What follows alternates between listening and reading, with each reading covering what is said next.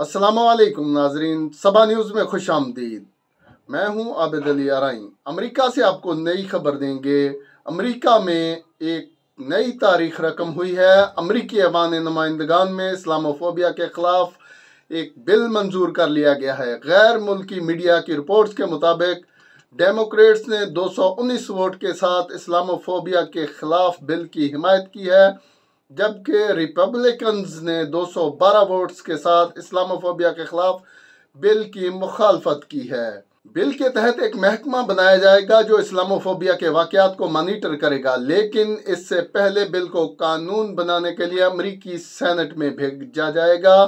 یہ اقدام اس تناظر میں کیا گیا ہے کہ جب گزشتہ ماہ امریکی کانگریس کے مسلمان ارکان نے ریپبلکن پارٹی سے تعلق رکھنے والی ایوان نمائندگان کی رکن لورین بوبرٹ کی مذمت کی تھی، جس کے اسلاموفوبیا پر مبنی ریمارکس منظر عام پر آئے تھے۔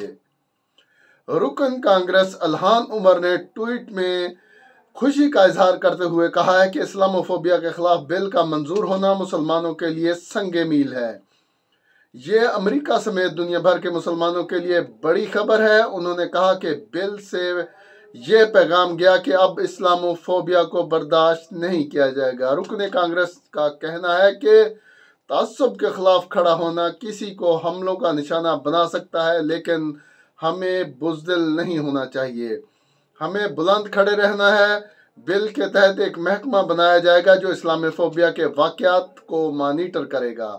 لیکن اس سے پہلے بل کو قانون بنانے کے لیے امریکی سینٹ میں بھیجا جائے گا۔ ناظرین، یہ تھی آج کی اہم خبر جو ہم نے آپ کے ساتھ شیئر کی، آپ اس خبر پر اپنے کمنٹس ضرور کیجیے گا۔